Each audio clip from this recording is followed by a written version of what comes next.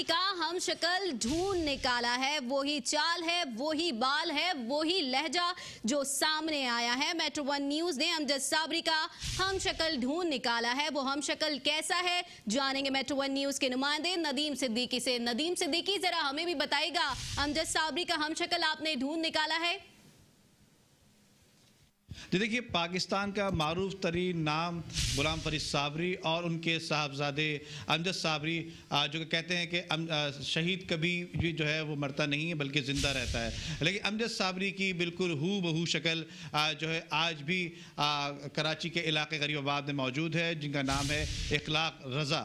इखलाक रज़ा जो है, वो उनको भी गालिबा शुरू से ही नात गोई का शौक़ है, लेकिन मुख्तलिफ़ महाफिल में जो है, वो नात के मुख्तलिफ़ प्रोग्रामों में जाया करते हैं। लेकिन आज हमारे साथ मौजूद हैं इखलाक रज़ा, जो कि सेम अमजद साबरी की हु शकुल शक्ल से, शक्ल में मौजूद हैं। हमारे साथ इनसे मालूम करेंगे कि आया कि अमजद साबरी से कितने मुतासर हैं और कब से आप इनको सुन रहे हैं और क्या क्या आदतें आपको, आपकी उनसे मिलती हैं। जी इखलाक साहब, क्या कहेंगे इस हवाले से?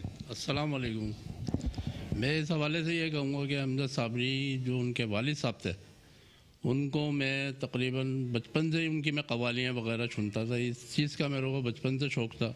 नात खानी भी में जाता था।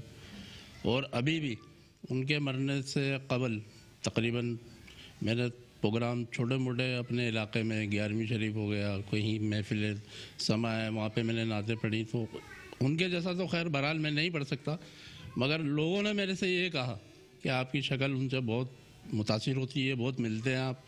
अक्सर मेरे इलाके में छोटे बच्चे, बड़े लोग अक्सर आते जाते होटल में, बसों में, कहीं भी गया पहले मेरे को यकीन नहीं था कि मेरी शक्ल नहीं मिलती उनसे, मगर लोगों ने बोल बोल के मेरे को यकीन दिलाया कि वाकई में मेरी शक्ल उनसे मिलती है। तो अब ये अमजद साबरी जैसा तो मैं खैर बहरहाल नहीं पढ़ सकता, मगर हल्का फुल्का मैं थोड़ा सा पढ़ लेता हूँ। सुनाइएगा सुनाइएगा क्या क्या कितना, कैसे पढ़ते हैं, ज़रा एक अंतर पढ़िए किस्मत में मेरी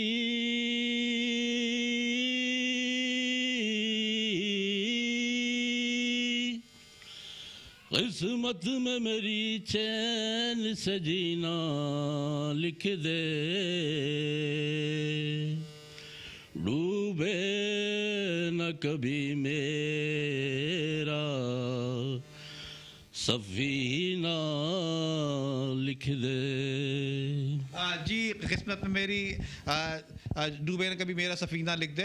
इस हवाले से अमजद साबरी और उनके वालिद साहब की जो पढ़ी गई जो कवालियाँ हैं उसको काफ़ी कॉपी करते हैं। और इसी हवाले से इनकी एक खूबी और भी बताता चलूँ कि जिस तरह से उनके पाँच बच्चे थे, इसी तरह इनके भी पाँच बच्चे हैं। और जिस तरह से वो लियाताबाद के इलाके में रहा करते थे, ये भी लियाताबाद से कुर्ब जवार के बिल्कुल पड़ोस में गरीबाबाद के इलाके में रहा करते हैं। इसी हवाले से मजीद इनसे हमने मालूम की तो इनका कहना ये भी था कि काफ़ी उनसे मुतासर है, कई बरसों से उनको सुनते चले आए उनकी कई महाफिल भी अटेंड की इन्होंने लेकिन आज हम आ, हमारी कोशिश है कि इनको अपने स्टूडियो में बुलाएँ और आ, आज शाम को जो है वो अपने मेट्रो टीवी के स्टूडियो में इनको मधु किया है। वहाँ पर भी इनसे इंटरव्यू करेंगे। जी। ठीक है नदीम सिद्दीकी आपका बहुत शुक्रिया।